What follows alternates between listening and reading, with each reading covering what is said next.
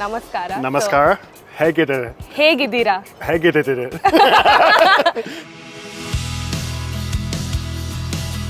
Hi Marlo, Welcome to RCB, coach. thank you. Players starting to arrive now for WPL season two. I think it's going to be a really good opportunity for us to um, meet with them, perhaps one on one, and and get to know them a bit better. Maybe catch catch up with them over coffee. I'll help you out with the Hindi bit, and you can go with the girls. And by the end of this WPL, I hope you get some Hindi into your curriculum also. When did you start playing cricket, or how did how did your cricket journey start? I started at the age of 8 to 9, around that age. My dad used to run an academy here in Bangalore. So I just used to go as another kid, just play around with all the boys. I used to, and then my dad was like, Do you really have to take up the sport? I said, No, let me just give it a try. So growing up, I just played for the love of the game. I was I was uh, studying in 12th standard. The teacher he told me to choose between cricket and CA, but uh, then I said, "Sir, I choose cricket."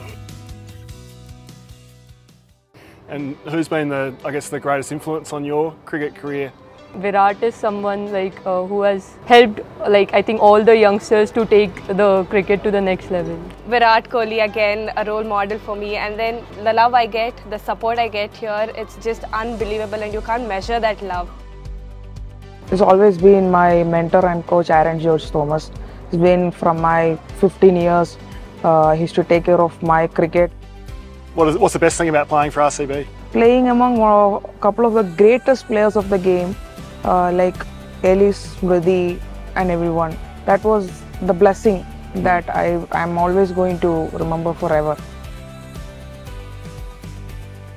What was your first thought or what was your first moment about the uh, like getting in the RCB franchise? Yeah, lots of lots of emotions. Um, excited, happy, um, overawed, um, a little bit nervous. Um, probably a lot of the feelings that I still have now.